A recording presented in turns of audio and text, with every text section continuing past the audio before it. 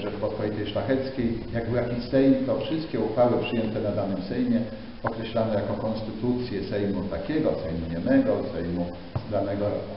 Natomiast konstytucja jako ustawa zasadnicza to jest pomysł dopiero oświecenia.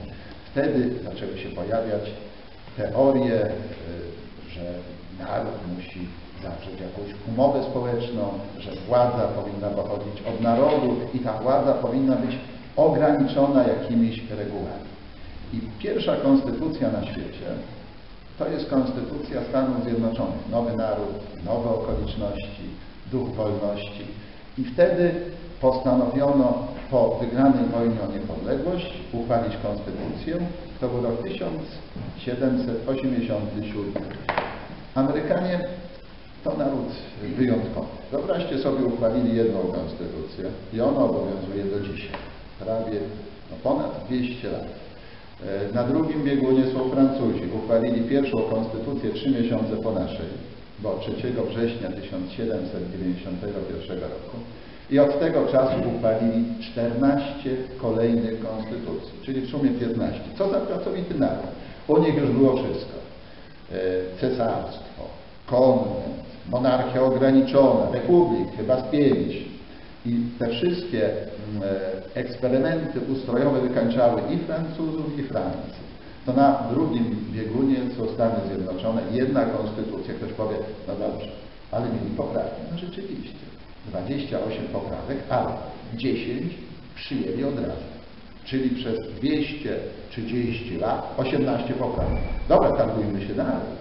Po I wojnie światowej Amerykanie wprowadzili prohibicję, kompletnie dla nas niezrozumiała rzecz, zakaz produkcji, sprzedaży, spożywania alkoholu. E, ten eksperyment trwał paręnaście lat i później wycofano się z tej prohibicji, bo który naród na to by się zgodził.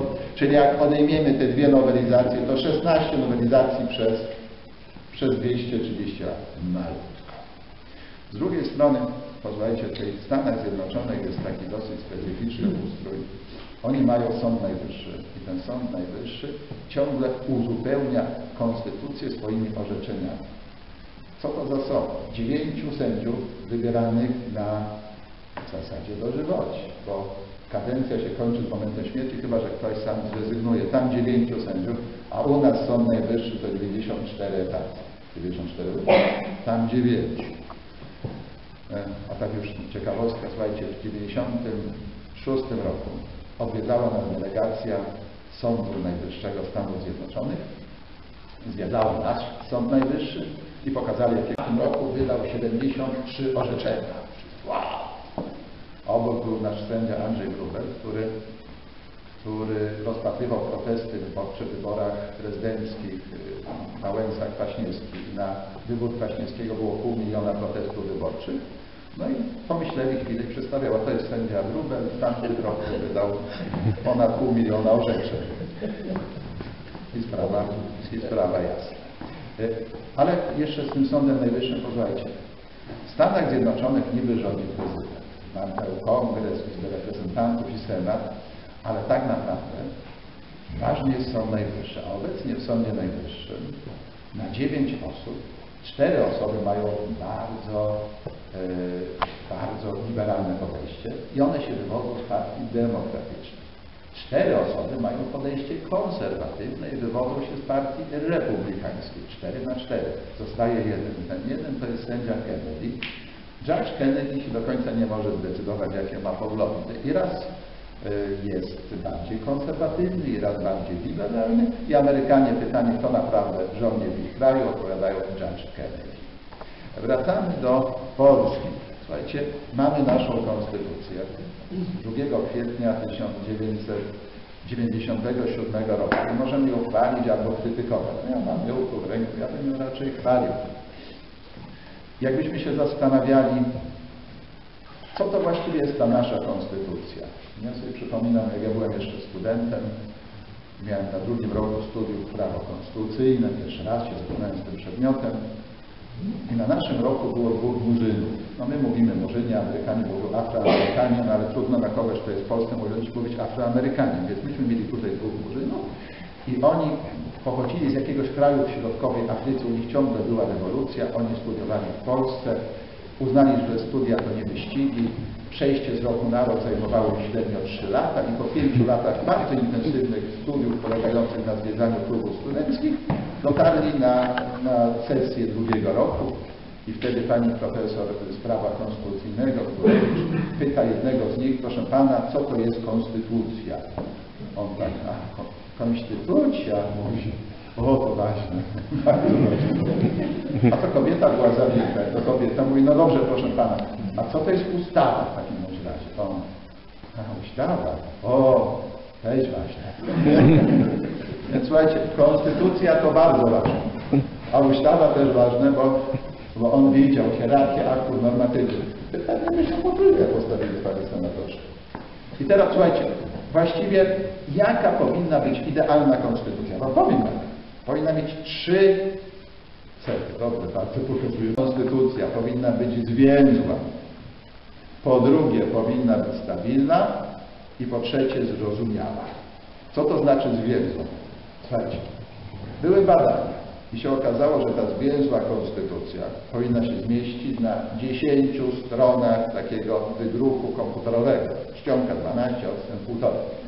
No dobra, słuchajcie, nie drukujcie w domu, ja wam od razu powiem, jaki będzie wynik. Jak y, rzucicie na print polską konstytucję, wyjdzie 30 stron. Czyli od ideału troszeczkę ona odstaje. Jest wiele przepisów y, zbędnych, powtarzających się. Dano, panie senatorze, długopis, to byśmy wycięli jedną trzecią tej konstytucji bez straty dla całości. Ale, słuchajcie, próbowano robić konstytucję europejską i ta konstytucja europejska w pierwotnym brzmieniu miała 300 stron y, wydruku, czyli druk dla dwóch osób to ryza papieru za mało. Konstytucja niemiecka, w zasadzie ustawa zasadnicza Niemiec 18 stron. Ale na przykład wszyscy narze- narzekają na Kazachstan, że taki kraj mało demokratyczny. Demokracja tam jest. Ale oni jakby chcieli wydrukować konstytucję to 12 stron, czyli bliżej ideału. Dobrze, powiedziałem. Zwięzła, powinna być stabilna. Konstytucja stabilna to jest taka, która nawet jeżeli nie jest ideałem, to powinna być zmieniana, nowelizowana dosyć rzadko, żeby nie wprowadzać niepokoju, żeby nie zmieniać pewnych fundamentów naszego ustroju. I nasza konstytucja, uchwalona w 1997 roku, do tej pory była znowelizowana dwa razy. Samych projektów nowelizacji konstytucji było 17. Uchwalono dwie nowelizacje, z czego każda dotyczyła jakiegoś drobiazgu. Jedna europejskiego nakazu aresztowania, a druga y, uniemożliwiała kandydowanie do y, Sejmu przestępcom, osobom skazanym prawomocnym orzeczeniem sądu. Przy tej drugiej nowelizacji konstytucji zresztą y, współpracowaliśmy, pan senator mocno się zaangażował. Y, Nie wiem, czy wiecie, że pan senator jest y, przewodniczącym Komisji Ustawodawczej w Senacie. Co więcej, o, to jest dla Was, posłuchajcie, też ważne. E, Taka dygresja na naukę nigdy nie jest za późno. Ja wiem, że to mówię 17 czy 18 latkom, ale na naukę nigdy nie jest za późno. Skończycie z y, liceum czy technikum, pójdziecie na, na studia, proces boloński, czyli licencja, magisterium, później doktorat. Ja poznałem pana senatora, jak go przeprowadził do mnie nasz wspólny znajomy, to było parę lat temu. E, No i powiedział e, dobra konstytucja powinna być niezmieniana, więc dwie nowelizacje na ile? 18 lat to nie jest dużo. Amerykanie mieli 18 przez 230, u nas dwie przez 18 lat. To jeszcze, więc nasza konstytucja jest w miarę stabilna. Co więcej, zauważam coraz mniejszą ochotę, żeby przy tej konstytucji grzebać. Będziemy musieli grzebać, żeby dostosować konstytucję do wymogów Unii Europejskiej. Będziemy chcieli wprowadzić euro, to musimy robić nowelizację. Na razie jest spokój. No i ostatnia cecha dobrej konstytucji to jest jej yy, zrozumiałość. Ta konstytucja to jest konstytucja nie dla polityków, to jest konstytucja dla narodu. I ona powinna być tak pisana, żeby naród mógł ją pojąć. Otwieramy gdziekolwiek i musimy umieć zdekodować treść. E, często się zdarza, że my nie potrafimy dekodować treści, która jest nam podawana w dzienniku telewizyjnym. Y, Socjolodzy podają, że e, 70% osób czasami ma problem ze zrozumieniem jakiegoś przekazu, a 18% osób nie jest w stanie poruszać się po kolejowym rozkładzie jazdy. Ja myślałem kiedyś, że to są badania fałszywe, ale to nie. To każdego dotyka. Wyobraźcie sobie, że ja też kiedyś miałem problem. Było ważne wydarzenie w, w Warszawie. Na pasku TVN, na żółtym pasku była informacja skierowana specjalnie do mnie. Ja to oglądałem wiele razy, dopiero po dwóch dniach się zorientowałem, że to jest przekaz do mnie. Lekarze zebrali się, Naczelna Rada Lekarska i postanowiła wystąpić z wnioskiem do Trybunału Konstytucyjnego i o tym był na, było na pasku. Ja dopiero po dwóch dniach zrozumiałem, że przecież oni potrzebują mnie, żeby mi ten wniosek napisał. Zadzwoniłem oczywiście, ucieszyli się jak mało kto. Po dwóch dniach, dwa dni mi to zajęło. Więc słuchajcie, konstytucja musi być zrozumiała, tak żeby naród mógł ją pojąć. Nie może być skomplikowana. Nasza konstytucja jest jeszcze w miarę. Ale jak to jest w sądach? Posłuchajcie, to nie jest taka prosta sprawa. Ja lubię konstytucję i często w sądach, jak y, argumentuję y, w sądach powszechnych czy administracyjnych, wskazuję na konkretne przepisy konstytucji, powołuję się na nią i zauważyłem, że jakoś sądy nigdy w uzasadnieniach na te moje argumenty konstytucyjne nie odpowiadają.